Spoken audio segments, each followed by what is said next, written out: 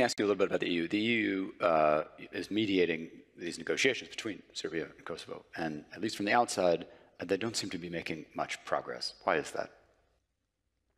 So, because you know, in a negotiation, you you have a table in between the two parties, which normally needs to be flat, uh, in the sense that there needs to be an equal footing, equality between the two parties. What we see right now, what we face right now, is the table is all upside down. So, despite the fact that Kosovo has been negotiating with Serbia for the past more than 12 years, 13 years, about 40 agreements have been reached, including uh, one very important one, the basic agreement and the Ohrid Annex uh, the previous year. And if you look at the list of non-implementation of obligations from Serbia, it's very, very long. It would take us until tomorrow to just read it. And this is, you know, it's very easy to confirm. You don't have to trust my judgment or my interpretation of it. You just pick any agreement. Whether we're talking about the agreement of freedom of movement, or we're talking about the agreement on recognizing diplomas, or we're talking about the agreement on, you know, recognition of other documents, or returning uh, of uh, the cadastral records which, which Serbia has stolen from Kosovo in the 90s and so on. None of these agreements have been implemented to a very important one from 2013, which obliges Serbia to dissolve all of its illegal uh, parallel structures uh, around Kosovo, but primarily in the north.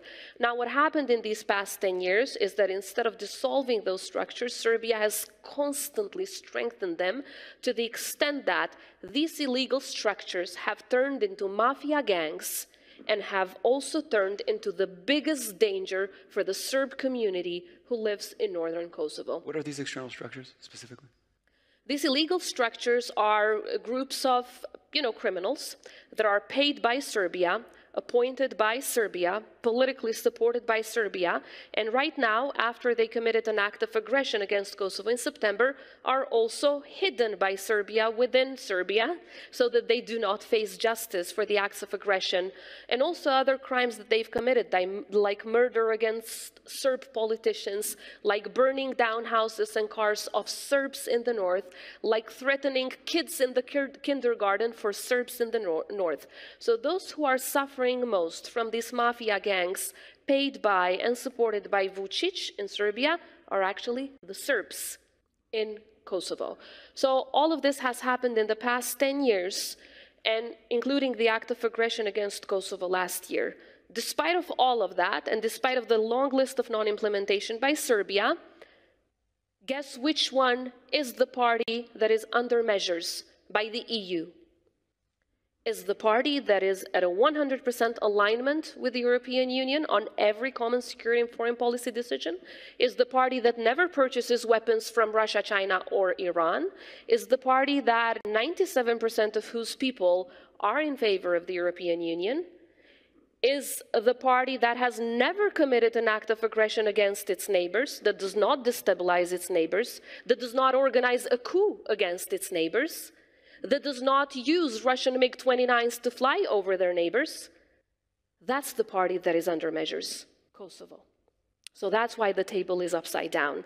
When you don't have equality as the very basics of any negotiation process, no one should, you know, dream about uh, tangible results that can also be implemented in the ground. And my final point on the dialogue, an agreement was reached um, February 23 and then it's annexed later on in 2023, which foresees obligations for both Kosovo and Serbia. According to the EU and the United States, and I agree with that interpretation, it's a legally binding treaty. Joseph Borrell, the High Rep, has also informed the UN Secretary General of the United Nations, as per practices in international law, that it's a legally binding treaty. But for all the experts out there, what happens if one of the parties formally withdraws from a treaty? It's a basic principle of international law. The other party has no obligation to implement it either. It's not that I want to oversimplify it. It's just like you, you enter into a contract for the sale of goods.